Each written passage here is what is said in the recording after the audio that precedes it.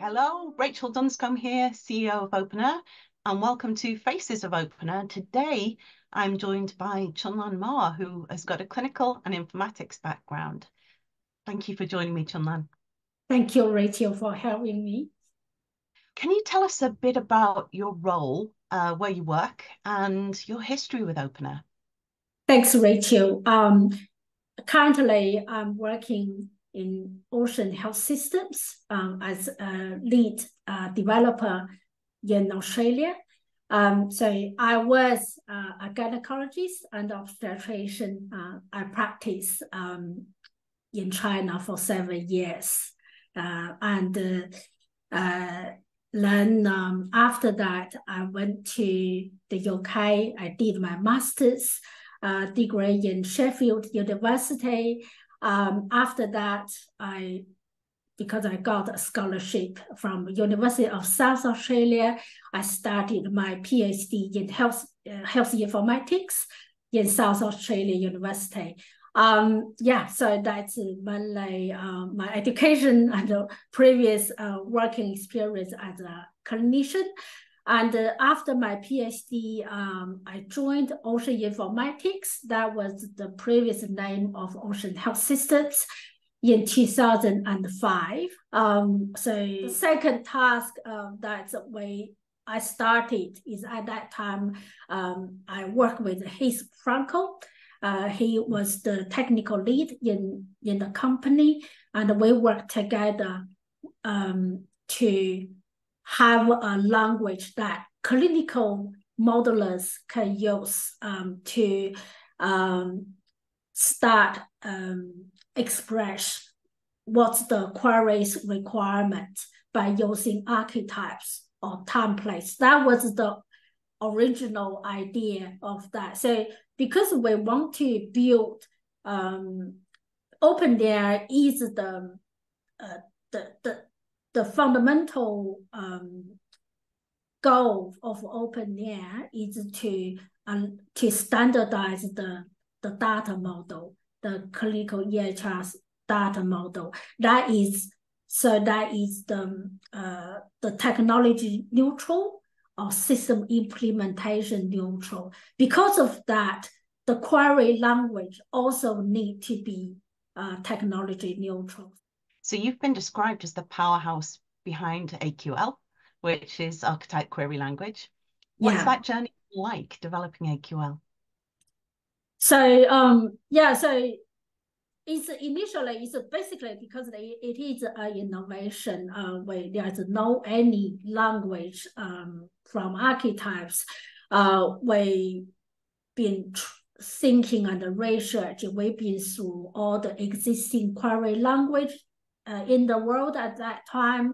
Uh, so we've been through SQL, SQL query language, and also object um, oriented, you know, the, the data object query language, uh, etc. So finally, we sort of get some inspiration from SQL query. So SQL query is like the query, a query data from joining the tables. So we consider, okay, archetypes is really like the database tables. That was the original inspiration and the way started to have like select clause, from clause, where clause, that is a similar um, uh, concept syntax as SQL query language, and uh, but we are using archetypes instead of uh, the tables. Wow. Well, congratulations on leaving such an amazing legacy for everybody because your work's being used across the globe now. And Thank I wondered you. if I could ask you, what does it mean to you to be part of the openEHR community? And, um, you know, how do you interact with the openEHR community? I'm from clinical background, and I also uh, had the knowledge, have the understanding in the health systems. So basically, when I first time to get myself um, exposed to openEHR specifications, I really found this is just the great model um, for representing the uh, electronic uh, medical record. Um, yeah, so it's uh, at the at the beginning, um, um, the main person I've been really talked to is like Thomas Beale, um, the early yeah, the Sam Heard, Dr. Sam Heard, you know, just we have lots, lots meetings and discussions um, about you know all these uh, specifications, uh, uh, you know, properties in classes, versioning control, all that sort of stuff. So it's amazing. Um,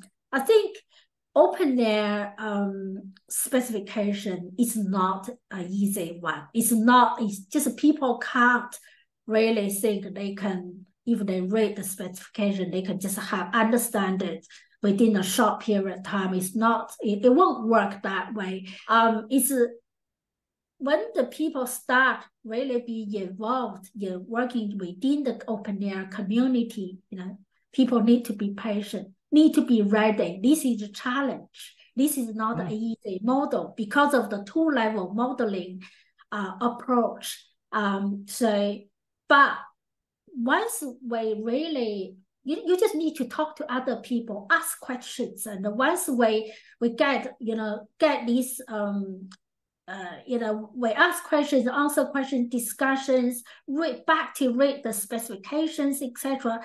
I'm sure you will get it. And when we start talking each other, we are, you know, it's just the um, the same understanding of this model, and it's amazing. It's just um, really, you know, you talk to someone, you know, who really understands uh, what you're talking about. It's just, the feeling is amazing.